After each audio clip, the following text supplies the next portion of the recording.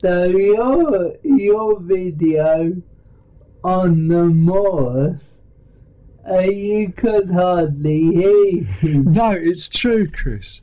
They, they've, they, they, th I didn't realise that would happen. I've tried to record some better sound, yeah, but it's it's a big problem. Of um, what do we do? Here we are in the studio. We're not allowed coffee mm. because we'd pour it all over these wonderful bits of electronic equipment and they'd stop working. So that you can understand that the management are not mad or unreasonable, but then out and about where you'd want to record sound, there isn't any equipment. I carried my Chromebook, you see. Those those um those ones that came from Kendal Castle were recorded on a Chromebook, and then I took my Chromebook home and uploaded them. ah, So it wasn't instant. I thought you'd recorded them on your video camera. No, I'm I'm I'm I'm gradually trying to change my uh, technology to, to, to get closer to instant access everywhere to the interwebby and uh, society.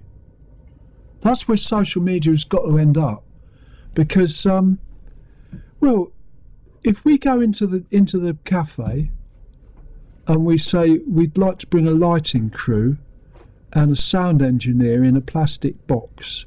Yeah, they might not let us do that. That's the problem, Chris. There's got to be a method. Yeah, Our producer's supposed to sort it out, but he's he's stayed at home today, so I know. we've got to find another And method. he hasn't sent us any voice note.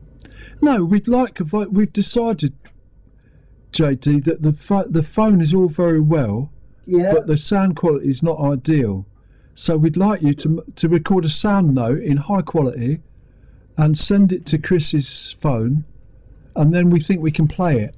yeah, So that solves that problem. we can. Um, I don't think he sent me one yet.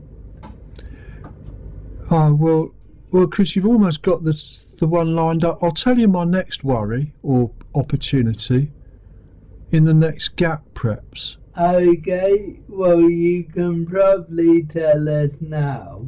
Okay, well, I later started experimenting with Adobe Express. Other software is available, but they will be at Bett, I'm pretty sure. And it used to be called something else.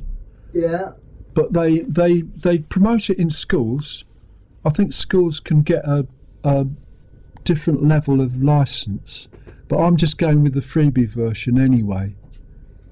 And they've got um, various things you can do, but it includes using gen- generative AI to create uh, an image. oh, okay. So I like Kendal Castle because I want the ruins of a fortress because it's it's a a way to imagine what might happen to the university once the fortress aspect is no more.